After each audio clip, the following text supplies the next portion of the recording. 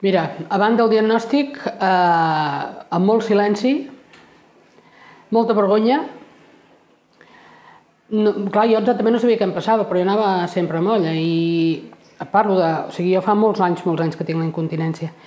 I llavors d'aquella època, ara hi ha uns absorbents com Déu mana, però en aquella època l'únic que hi havia era uns rotllos de cel·lulosa que era horrorós, perquè a més a més, a més allò estava moll com un dimoni. Però clar, no podies dir segons què perquè tot era vergonya i molt malament. O sigui, jo ho, vaig, ho, ho vaig viure molt malament.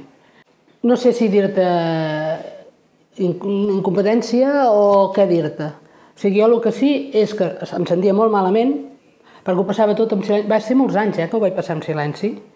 I clar, és una manera de, de no poder-ho parlar, perquè si ho parles amb qui ho parles... Jo vaig venir per una... O sigui, jo vaig entrar al clínic per un altre tema i llavors al final el metge doncs, ho vaig dir i, i em, van, em van derivar a, a fer-me les proves d'urodinàmia. I bueno, amb les proves doncs, va sortir que jo tenia una incontinència mixta, que diuen els metges. Clar, jo tenia que la bufeta la tenia caiguda i això volia dir que em tenia que operar i després tenia un altre, un altre problema que tinc la bufeta hiperactiva. Llavors, pel el problema de la, de la caiguda doncs, em van operar va anar molt bé. I la meva bufeta el que fa és que eh, treu uns espasmes, o sigui, quan, i jo no me n'entero, vull dir, ella va fent espasmes i, i, i, i, i surt. Pot ser una goteta, però clar, aquella goteta ja mulla, i això no me n'entero. Llavors, què hi ha per això? Jo vaig començar amb medicació. Uh, passa que passa que al final te'n canses. Quan fa anys que prens medicacions ja estàs farts de pastilles. I, i després el botox. A mi m'ha anat molt bé. Eh, he estat un any pràcticament seca i ara estic pendent doncs, de tornar-me, que me'l tornin a injectar.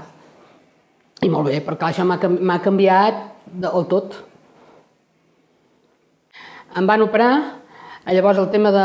ja abans d'operar-me, eh? ja, ja em van dir tot el tema d'exercicis. El que passa que després d'operar-me eh, vaig fer tot el que és el biofeedback que fan aquí al clínic, llavors eh, eh, eh, veus, tu veus per l'ordinador si, si realment els exercicis els fas bé o no els fas bé.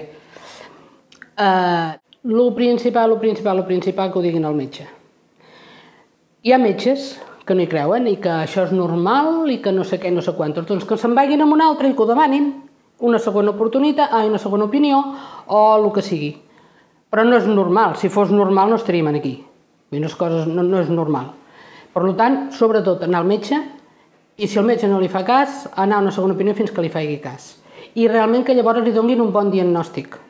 Perquè no passi com jo el primer. Clar, si a mi no haguessin donat un bon diagnòstic, jo després de l'operació hagués dit truro cargols.